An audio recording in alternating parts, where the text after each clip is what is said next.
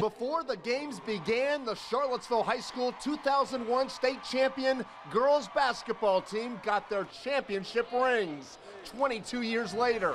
I'll have more on that story in the coming days. District play begins with undefeated Charlottesville hosting crosstown rival Monticello. Monticello's Sam Messenger sends a message early on with the slam. Mustangs built a seven point lead. A bit later, it's Monticello's Jack Facilio for three. The Mustangs led almost the entire first half, but trailed by one at the break.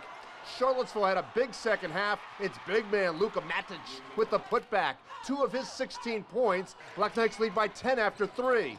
Charlottesville pulls away in the end. Lamarone Brock hits the jumper.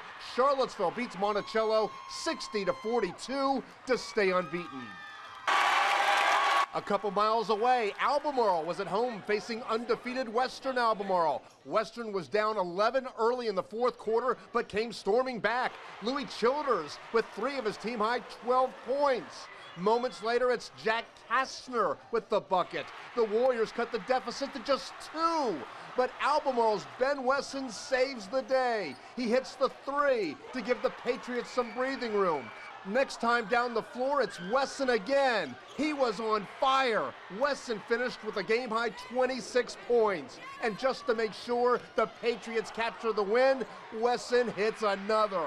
Albemarle beats Western Albemarle 52 to 46. Marty Hudtloff, NBC 29 News.